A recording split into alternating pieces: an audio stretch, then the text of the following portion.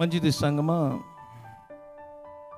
July నెలలో మనం అందరం ప్రవేశించున్నాం. ఇది మొదటి ఆరాధన.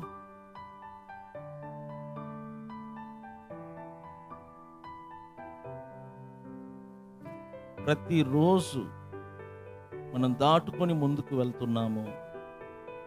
ఏది కూడా మన కొరకు ఆగటం లేదు. మీరు ఒక విషయాన్ని మాత్రం గుర్తుంచుకోండి.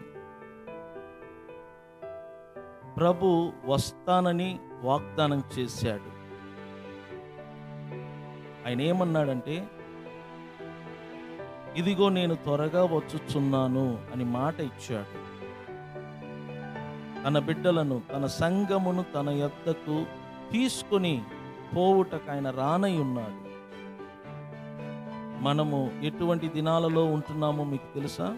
ప్రభు మనలను తీసుకొని వెళ్ళిపోయే దినములలో మనం జీవిస్తున్నాం. ఎప్పుడు వస్తాడు ఈ ప్రశ్నకు సమాధానం ఎవరు చెప్పలేరు.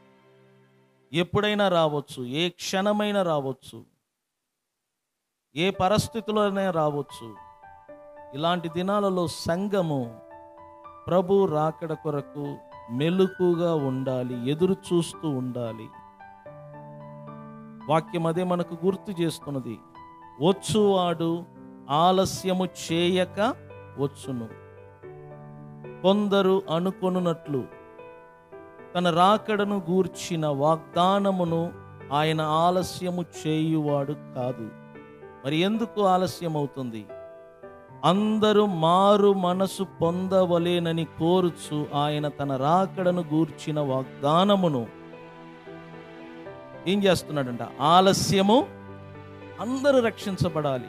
ఇక్కడ ప్రాబ్లం ఏంటంటే రక్షించబడ్డవారు బాప్టిషన్ తీసుకున్నవారు అసలు గుడికి రావడమే కష్టమవుతుంది. కొంతమంది ఏమో చర్చికి రావాలంటే ఇంట్లో వాళ్ళు ఒప్పుకోవట్లేదు. కొంతమంది ఏమో చర్చికి రావాలంటే టైం సరిపోవట్లేదు. కొంతమంది ఏమో చర్చికి రావాలంటే ఒక బద్ధకము. రావటం వల్ల మనకు ఉపయోగం ఏంటి? నేనేమంటున్నానంటే ఈ దినాలలో దేవుని బిడ్డలైన మనము వాక్యము విని ఆ వాక్యము చేత మన మనసును నూతనపరుచుకోవాలి.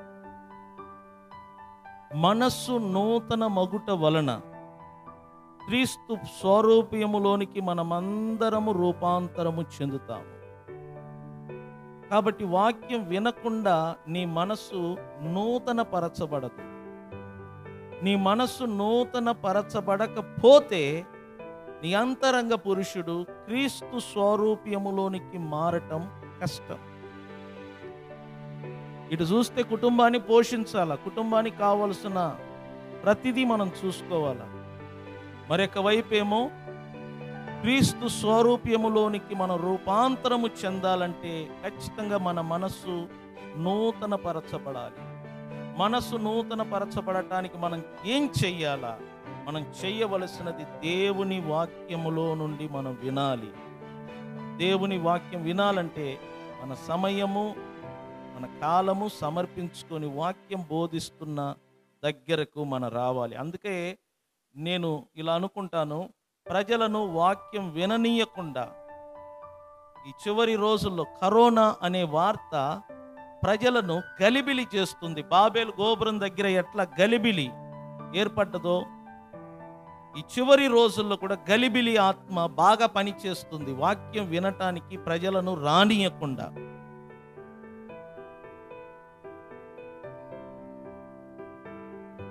సింపుల్ ఉదాహరణ చెప్తున్నాను చూడండి.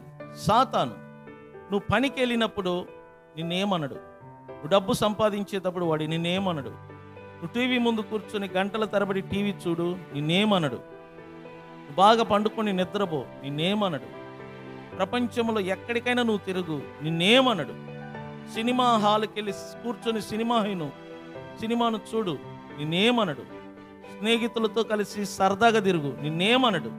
కానీ బైబిల్ పట్టుకొని చర్చికి వెళ్ళాలనుకుంటే నిన్ను మాత్రం రానియకుండా బోలెడు మంది నీ చుట్టే ఉంటారు. నిన్ను రానీడు ఎందుకంటే వాడికి తెలుసు నువ్వు సినిమాకి వెళ్ళినా ఆడ నీకు వచ్చేది ఏమీ లేదు. నువ్వు పనికి వెళ్ళినా ఆ పనికి నీకు రాబడి వస్తుంది వాడికి తెలుసు. నువ్వు కాలేజీకి వెళ్ళినా అక్కడ బో అక్కడ టీచింగ్స్ తప్ప నీకేం దొరకదు.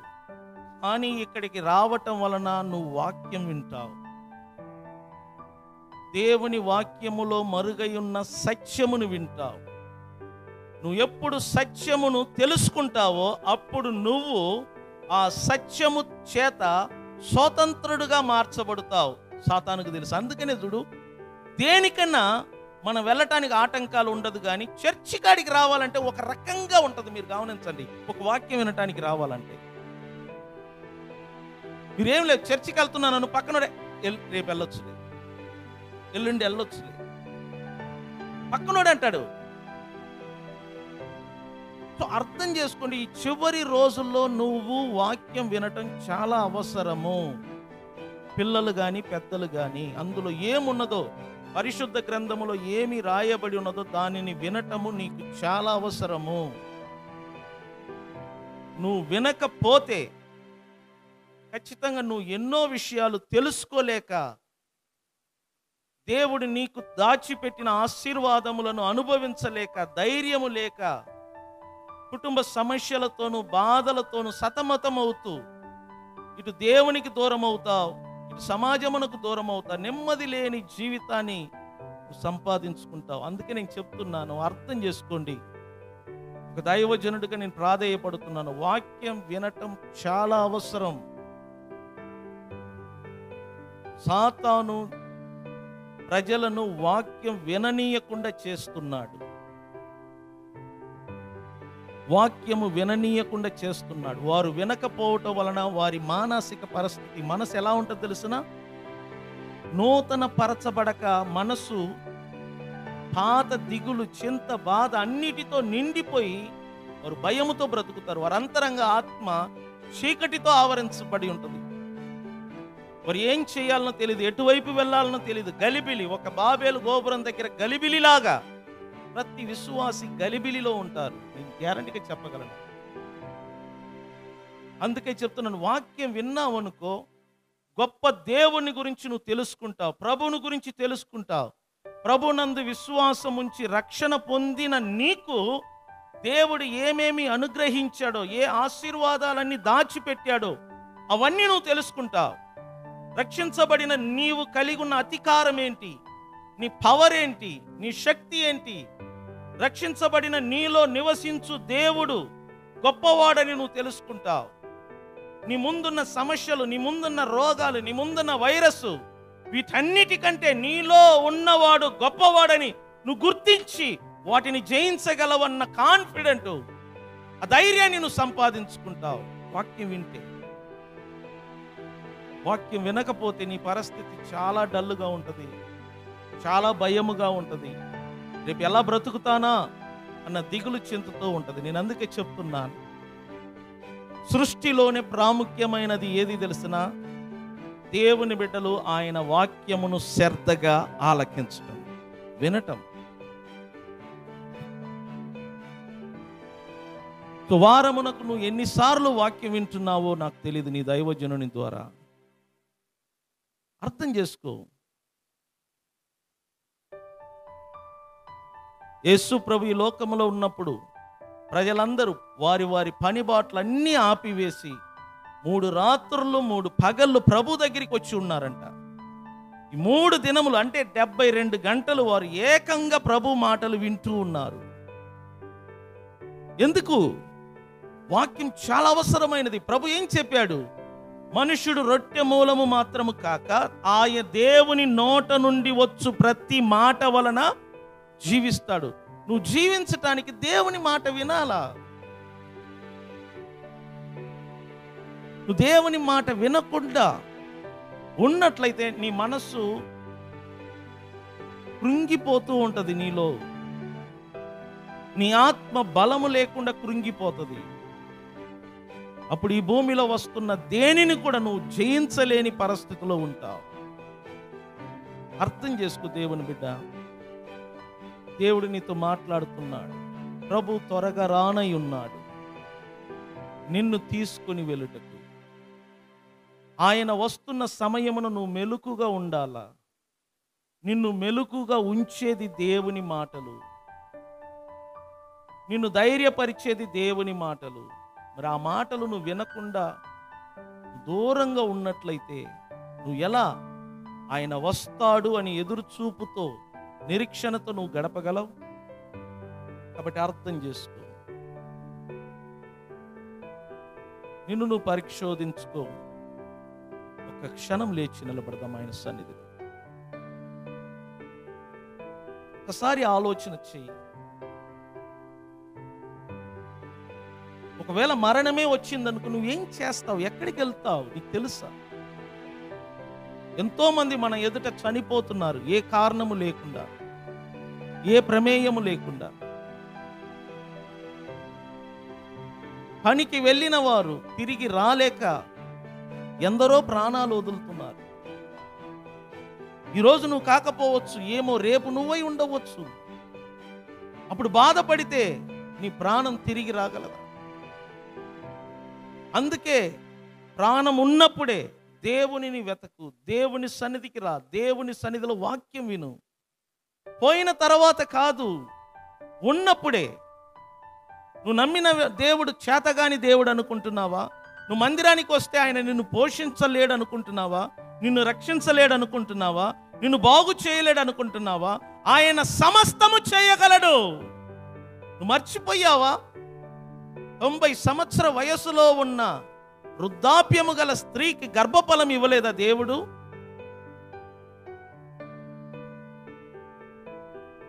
కొన్ని వేల మందిని ప్రభు రొట్టెతోను చేపలతోను పోషించలేదా? దైవజనుణ్ణి మూడు పూటలు రొట్టెతో మాంసముతో పోషించలేదా? నువ్వు మందిరానికి రావటం వలన నీకు వచ్చిన నష్టమేంటి? ఎందుకు రాలేకపోతున్నావు? అర్థం చేసుకో. నీకు తెలుసు దేవుని వాక్యం వినబడుతుంది. నీకు తెలుసు దేవుని వాక్యం బోధించబడుతుంది. మరి ఎందుకు రాలేకపోతున్నావు?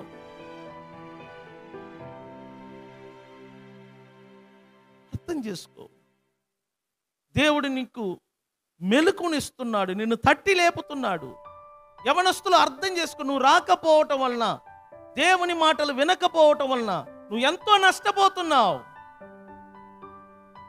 నీకు సరి అయిన భవిష్యత్తు కలుగుతుందా కలగదా అన్న భయముతో నువ్వు బ్రతుకుతున్నావు. నేను చెప్తున్నాను దేవుని సన్నిధికి రండి. దేవుని సన్నిధికి వచ్చి ఆయన వాక్యం వినండి. ఆ వాక్యమును విని గొప్ప దేవుని గూర్చిన మర్మములు తెలుసుకొని ఆయన మీద మీ విశ్వాసాన్ని బలపరుచుకోండి. ఇక దినములు చెడ్డవి గనుక సమయమును పోనీయక ఆయన మందిరానికి వచ్చి మీ సమయములను సద్వినియోగం చేసుకోండి సంగమా. యవనస్తులు మగపిల్లలు అర్థం చేసుకో. చేతులు పైకెత్తి కొద్ది క్షణం ప్రార్థన చేయండి అందరు కలిసి. ప్రార్థన చేయండి. ప్రతి ఒక్కరు ప్రార్థన చేయండి. ఎవరు మౌనంగా ఉండవద్దు